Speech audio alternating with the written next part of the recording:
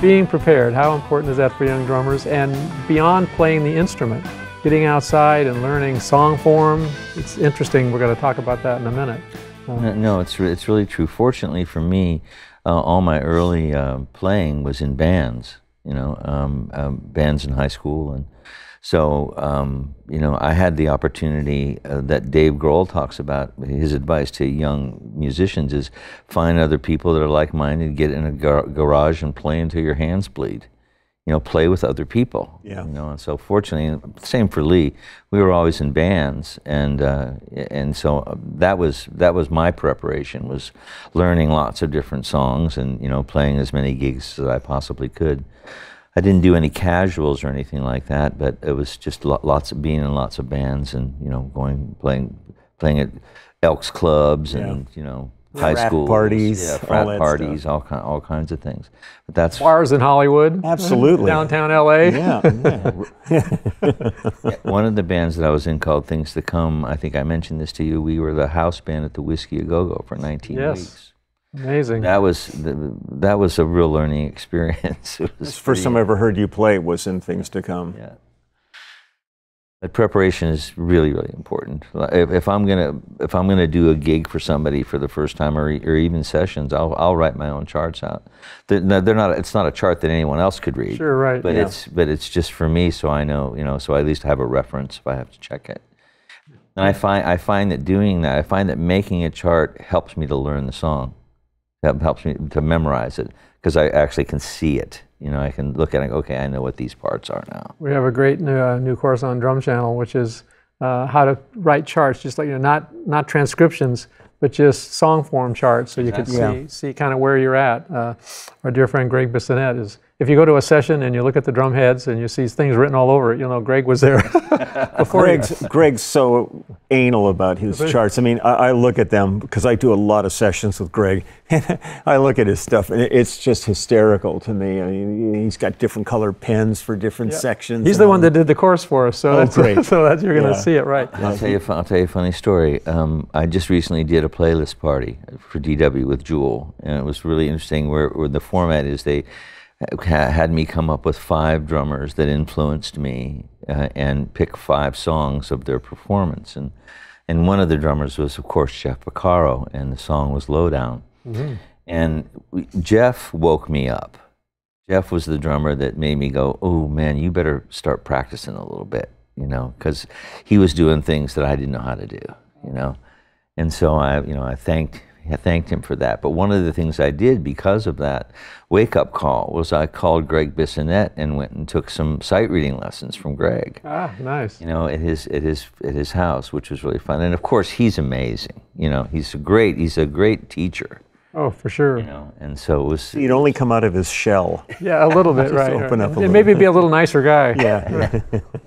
he said he was backstage and warming up on a pad uh, with Ringo Ringo happened to walk by the door and says, What are you doing? He says, Well, I'm just warming up a little bit. He says, What? You're playing and there's no band. Why would you be playing drums without a band? made no sense to him at all. What, kind, what do you? This makes this is crazy. I love that. Uh, That's funny. The importance of a drummer's role in a band. Uh, I know we've touched on it a lot here in the conversation, but as as you sit down, not yourself, but as you would be encouraging a young drummer maybe a student who would be sitting in for the first time playing with a band, what would be the key things you might say to him that you would think he would want to be? He's done his practicing, he's got his rudiments down, uh, but he's never played in a band before. What are the things you would think he should, aside from become best friends with the bass player? Yeah, no matter what you do, that's maybe number. usually money involved. Number in one, yeah. uh, well, uh, this answer is an answer that you'd probably get from lots of people. It's to listen, to listen to uh, to what's going on around you, and uh, and try to be the glue to hold everything together. You know, to just it's like, you know, drummers are kind of like um, the string in a string of pearls. You know, all the the other instruments are the pearls, and the drums got to tie it all together. So listening is very key to that you know, and um, I'm sure I'm, I'm sure that uh, my the bandmates are going to have some especially the guitar players are going to have some interesting answers for you. So I don't want to infringe upon any of theirs, but um, but it's listening. Uh, it, listening is really really important, and of course preparation, like you said, that's all done, and. Uh, just try, just trying to you know find what, find out what the whole piece is, and don't don't think of of this music that you're about to play as compartmentalized. You know, try to make try to bring everything into one, so it's one big beast moving in the same direction, you know. And you and you you'll know it because you'll feel it in your body, you know. You'll you'll feel comfortable, and then you'll you, you'll know that you're you're actually doing it. Your body will tell you. Let's take a moment and hear what your bandmates have to say about this, including this bandmate over here. Okay. we'll be right back. Well, the first thing I would look for in, in a drummer right away is if he's listening to what's what he's hearing. A lot of people don't pay any attention to the song they're playing, and uh, to me, a good drummer has to have a real strong song sense. Aside from, if he doesn't have good time, he's not even going to be able to sit there. But you have to be have, you have to have an open head to hear the song that you're about to play, and really listen to what's being asked of you to do. Once that's established, then it's it's an inherent sense of verse, chorus, and how to interpret these things and, and how to follow a singer. It's really important for a drummer to pay attention to the song that's being played. Russ Kunkel, I know from working with Russell, a lot of times Russell will have the lyrics by him, not only just to have the sheet music, but he wants to know what's being said because he's really expressing what the songwriter is saying, and that's so very important. So those are some of the qualities I look for. Yeah, a good drummer should be listening and paying attention and responding and reacting to what everyone else is doing. A good drummer is supposed to help the situation. And a good drummer should know that it ain't about him, it's about the, the whole thing. And a good drummer should have great time, of course. That's that goes without saying, but also be able to have a feel that lights people up, that lights his fellow musicians up. You can't learn at home in your bedroom. You got to go out and play with people, respond to them, have them respond to you. And I think that's what makes a good drummer. Well, first of all, you want to make sure that the drummer doesn't steal your girlfriend because they, they always seem to do that for some reason. Uh, That's a sign of a good drummer, though. but uh, the, the, the, drummer does, to, to me, there's a, everything those guys said is, is first and foremost, but the drummer has this interesting role of both following, as Waddy said, but also leading. Somehow the great drummers do them both at the same time because we're we're going with the drummer. The drummer has to say, say this, I, this is where this is. That's very true. At the same time, he's following the rest of it. That's a tricky thing. I don't have enough brain power to do that, but that's but the drummers who are great, like this fellow right here, do that. And and I'm always looking like, can you lead me and follow me at the same time? Uh, that's really true. Yeah, well put, drummer yeah. has to play like a leader, right? But has to be listening. It's like I always say, the drummer, the, the hardest seats on the stage are first of all the artist, the lead singer who is leading the show.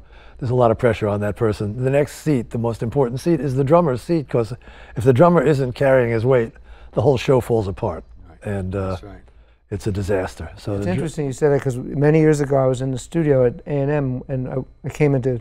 I'm, you were on the record. I came into to watch a little mix session with Shelly, Shelly Yakus, and he was explaining how he gets the vocal and the drummer Right. It starts with those two things because if those two things aren't working together, none of the rest of it's going to sure, work, and yeah. that's true in, in the band as well. Right. What about you, Sklee? What's your idea of a good drummer? Well, I, I, agree with everything that that you guys have all said. It's um, I look for confidence in a drummer when they sit down. They're in they're in command. You know, they're, they're not sitting there kind of a little anxious about things. They're excited, but not you know nervous about what they're doing.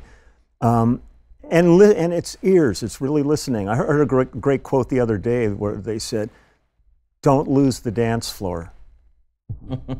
and to me, that sits really on the drummer's lap right there, yeah, man. if you're that. rocking and it's solid, you know, and the people are there with you, no matter what the kind of music is, you've done your job. And, uh, yeah. and, and, and the joy of my life has been being with Russ for you know, a half a century right now, and every day is an adventure. We, we have kind of a symbiotic relationship where things don't have to be discussed. And when I work with new drummers, um, once you sit down with them and you start playing, and it immediately does like the Viking Vulcan mind meld, and you, you come together. Then that's when the magic happens. But you really have to have big ears and listening to each other. So, in terms of the camaraderie of you guys being a band uh, and the importance of the rhythm section in the band, not just the drummer in the band, you're in a band and the tempo picks up a little bit. Uh, the song is is there anything wrong with that? Is is the drummer's job to have to keep it a strict tempo? Uh, if it organically is just, how do you guys look at it within your band? Does it have to end up? Are you trying to always keep it from moving forward, or What's, what's your opinion on that first? Um, I think first off, that kind of a question is, is predicated on so the song. Um, there's some songs that really want to just sit exactly and never move, and there's other songs that want to breathe. And uh, you know, I have no problem if, if like a chorus picks up and then you get back to the next verse and, and it sits back. That's a dynamic. Yeah, that's yeah. the dynamic of it. Uh, so I, I don't have any issue with it. I have an issue with it if like the drummer's time is bad and he's just rushing for no reason at all because he's nervous or something like that. That becomes another situation. But musically, I don't see, see any problem with it. And the really great drummers like the Russ Kunkel and the and the Jeff Porcaros and Carlos Vegas and those. I mean, when he's playing to a click, you would never know there's a click going on. That tempo is solid, but it's breathing. So there's this little dance that's always taking place around the click. Um, that's a genius art, by the way. That's a that is a skill that that really um, you have to work at. But I think there's this was going another drummer thing though, um, and I think this pertains to drummers. But it was told to me as a bass player. Hal Blaine told me he was down in San Diego doing a gig with a young bass player, and he said the young bass player just whipped it all out on this gig and did it all. And when the gig was over, he came up to Hal and said so what do you think? And Hal looked at him and said, I think we need a bass player. You know, I mean, how instantly you're the, but I, it would work for a drummer too. I mean, if you come in and you, and you impose yourself on the music, um, when, when I do a gig with people, I kind of know everybody's parts. I listen to it to where I know what Russ is doing. I know what the guitar parts are supposed to be. I know where, where the vocal's supposed to lay because I hear it as, a, as, an, as an entity, as a whole, and not just focusing on my parts. So the last thing I listen to is me. I mean, I, I, I get confident enough to know my parts, but I want to I want to fit in all of this. And I think it's really critical to really be aware of what everybody's doing and listen to it and respond in like, find your spot in it and don't impose yourself on it. Beautiful. So, to your question, in this particular band, if I'm if we're playing along and maybe we played a verse and a chorus, and I start to feel just tempo speeding up a little bit, is it is it leaning a little bit? What I'll try to do is very subtly just let it settle back down again without without just with such nuance with a, not a fill not, or any not, particular not even with a fill just not even just, just kind of like think about chewing gum slower you know, and just let it, you don't yank it back, but just let it just breathe for a second. And breathing is really important. One of the things that drummers really need to know how to do is to not hold your breath when you're playing, because that's what will get you to speed up or slow way down. You know, you have to breathe, you know. So that's what I'll do. I'll go, okay, I got, I got to pull this back now, very subtly, somehow, you know. So that, but we don't. It doesn't happen a lot, but sometimes it does. Like today when we were rehearsing, what he said that that was a little fast because one song we just kind of let it. You know, we are heading for the barn door a little bit. But when we do them for real, real, we usually put them right where they're supposed to be. Yeah. yeah. But I try. I, if if I'll try to subtly, just breathe. You know, chew the gum a little slower and it's also, I think, if you're a drummer working with a bass player, I think make eye contact. Yeah. You don't. I, I hate when I see bands playing and nobody's looking at each other in the group.